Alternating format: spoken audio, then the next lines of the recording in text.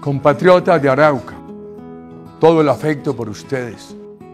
Miguel Matus es la juventud con principios, la juventud con rectitud, la juventud con convicciones democráticas para la patria.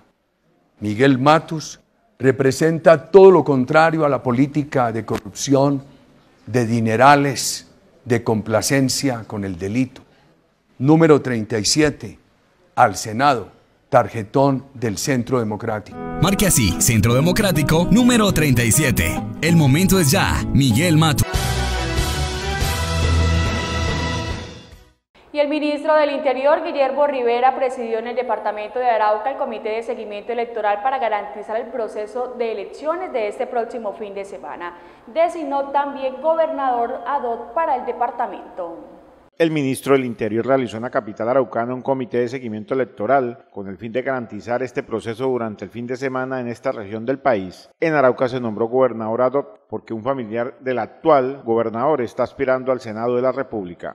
El señor presidente de la República nos pidió que acudiéramos a aquellas regiones eh, con mayores dificultades para el debate electoral por cuenta de la presencia del ELN, por cuenta también de las dificultades que se viven con el ingreso de venezolanos al territorio nacional y por eso estamos aquí en Arauca.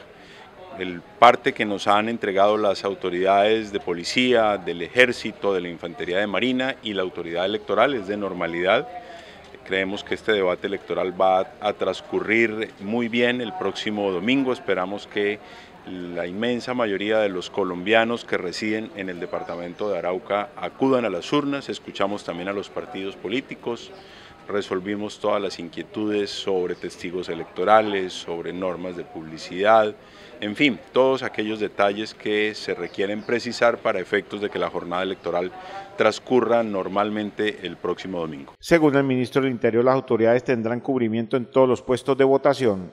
El parte que nos han entregado los señores comandantes del Ejército, de la Infantería de Marina y de la Policía Nacional es eh, de cubrimiento en todos los puestos de votación con lo cual los eh, ciudadanos que quieran acudir a las urnas en el departamento de Arauca lo podrán hacer con toda tranquilidad. El gobierno nacional garantiza la fuerza pública en todo el territorio colombiano. A nosotros lo que nos corresponde es garantizar la presencia de la fuerza pública en los puestos de votación para que los ciudadanos puedan tener la tranquilidad si deciden acudir a las urnas, que esperamos así lo decidan.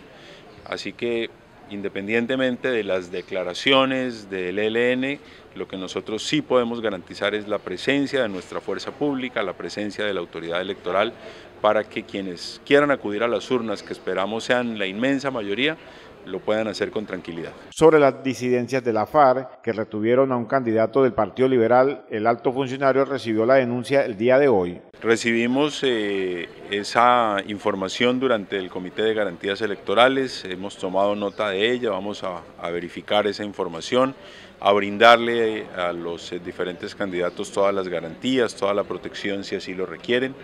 En el departamento de Arauca hace un poco más de un mes recibimos una información de inteligencia acerca de un posible atentado contra el candidato Miguel Matus. De manera inmediata se le implementó un esquema de protección y así lo haremos en todos aquellos casos en que se requiera.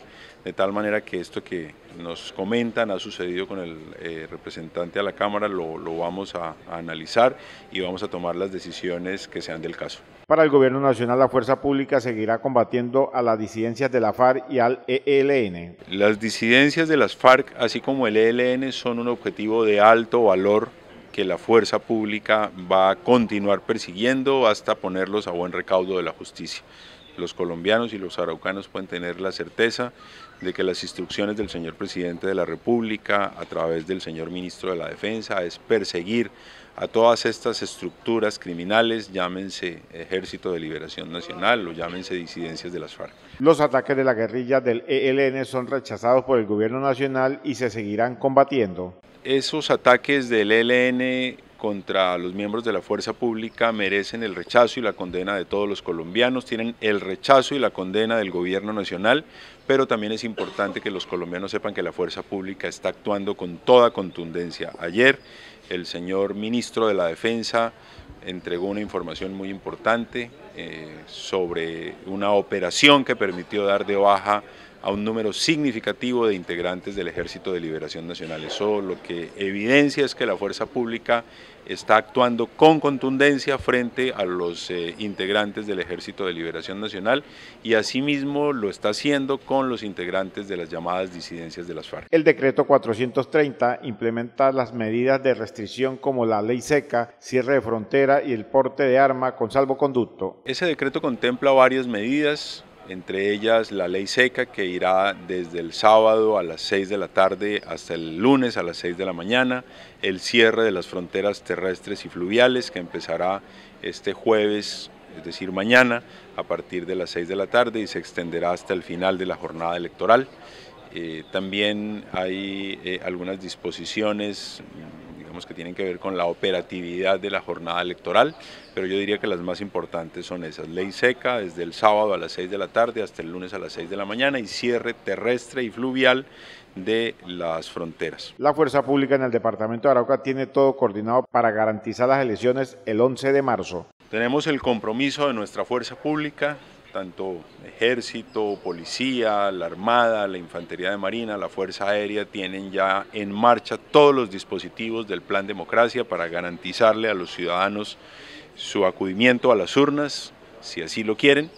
Eh, también la autoridad electoral tiene todos sus dispositivos para garantizar que los puestos de votación funcionen normalmente el día domingo para que el proceso de escrutinio se desarrolle también con total normalidad. Hemos escuchado a los partidos políticos, les hemos incrementado, reforzado los esquemas de protección a los candidatos presidenciales. Este gobierno está absolutamente comprometido en brindarle garantías plenas a todas las fuerzas políticas y a todos los candidatos porque este es un gobierno que cree en la democracia, que cree en las bondades de los procesos electorales y, por eso estamos desarrollando todo este periplo por buena parte del país, hoy en Arauca, constatando que esas garantías, que esos dispositivos estén funcionando. En el departamento de Arauca se designará un gobernador ad hoc porque el titular tiene un familiar que es candidato al Senado. Bueno, estamos tomando esas decisiones. Antes del domingo estarán designados todos los mandatarios locales ad hoc. El señor gobernador de Arauca también me ha manifestado su intención de declararse impedido en virtud de que un eh, pariente suyo es candidato. También eh, procederemos a designar un gobernador ad hoc para el departamento de Arauca para el día domingo. Para el proceso electoral en Arauca, el delegado del Ministerio del Interior es Carlos Eduardo Bernal, funcionario de esta entidad.